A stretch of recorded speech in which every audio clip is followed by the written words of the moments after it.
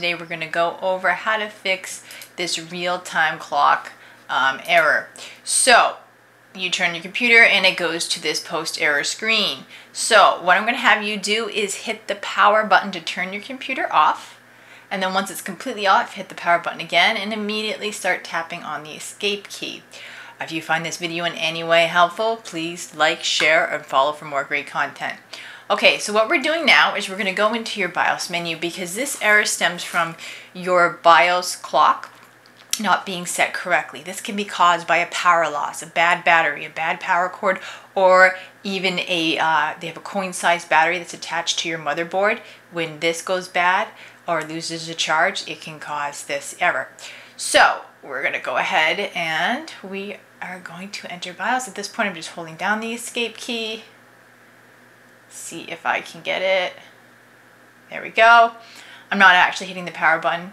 Um, now, uh, you can just use your arrow keys to arrow down to BIOS setup. You can also hit F10, that's a hotkey for this. You can use that if you need to.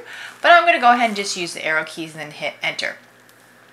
Now from here, zoom in so you can see better. Isn't that a little bit better? Let's go.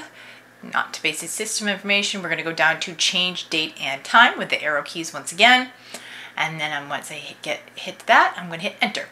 Now, as you can see for, uh, this is the correct date from when this video was being made, filmed, to 1524, so that's all set. If it wasn't correct, I would go ahead and set the right date.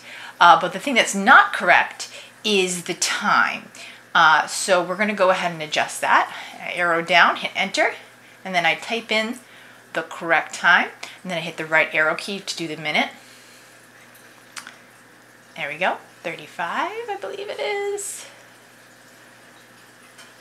No, 32, and then hit enter. Okay, and now once these are set to the correct date and time, you're gonna go ahead and hit save changes and exit.